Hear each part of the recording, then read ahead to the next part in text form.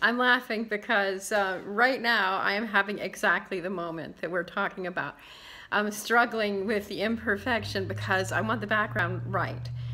Um, I want to show my books, but I want to have that halo light over my head like in the last video where it might have looked like the lamp was growing out of my head. But I really liked that depth and all that field of vision.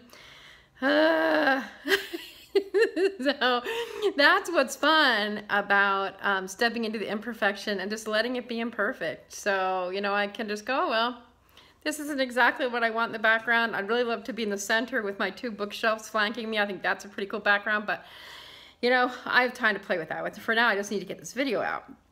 The second thing I've learned throughout this, this process is I get really worried when people don't comment on my videos or when people just pass right by them and don't watch. Because I can see how many people watch my videos and I'm like, I must really suck that nobody even wants to come in and look at my videos. Man.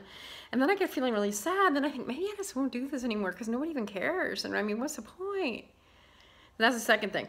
The third thing is I was like convinced that people were going to judge me because of my background in live streaming.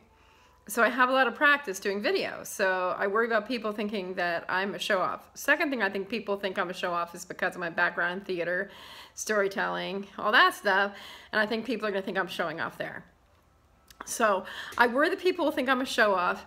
I worry that people hate my videos and don't even bother looking because I'm just annoyance personified so they don't want to watch. And, uh, and boring, which is like, please not that. Or third, I think, um, like this background. I really, I really liked it better straight on, but I didn't like the light coming out of my head. So I'm gonna have to figure that out.